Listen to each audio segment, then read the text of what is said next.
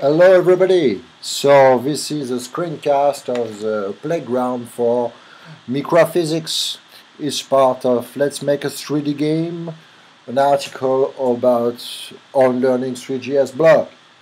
If you don't know exactly what it is, just click on this link I will give you the blog post. This is just a short introduction of uh, microphysics.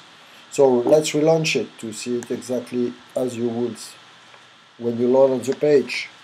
So there's many spheres, they all fall on the ground because of gravity. There's a blue ball just there. This is what I call the player. You see, you can enable, disable the player. You use the arrow in order to move this player. If you do shift up, it goes up, shift down, it goes down. There's gravity, so everything is falling on the floor. You can play bowling, have fun, these kind of things.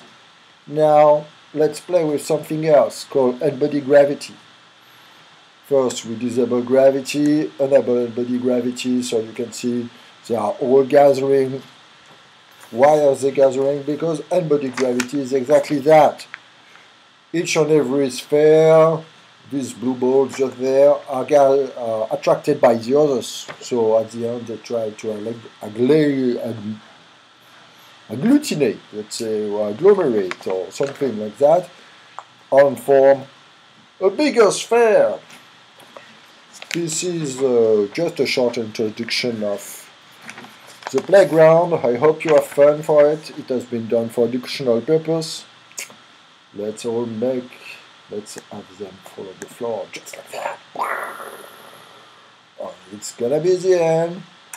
Have fun, guys.